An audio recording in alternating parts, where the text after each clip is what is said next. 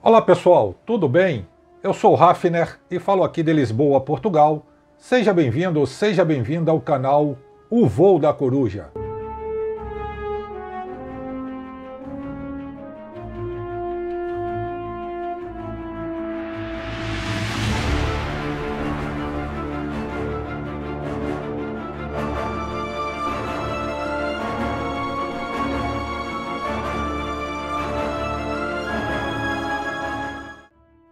Morre Alejandro Sabella, técnico finalista com a Argentina na Copa do Mundo de 2014. A matéria está no site extra.globo.com. O renomado ex-jogador de futebol e técnico Alejandro Sabella morreu nesta terça-feira, dia 8 de dezembro de 2020, aos 66 anos, devido a um vírus hospitalar que complicou uma doença cardíaca aguda. A informação é do Clarim, da Argentina. Sabella conduziu a seleção alviceleste ao vice-campeonato mundial em 2014, no Brasil.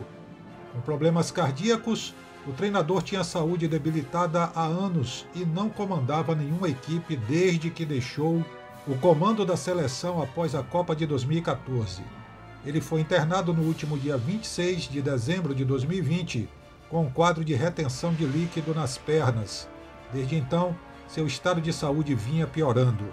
Além da seleção, Sabella comandou um único time na carreira, o Estudiantes de La Plata. Por lá, onde também foi jogador, tornou-se ídolo máximo com a conquista da Copa Libertadores de 2009 sobre o Cruzeiro.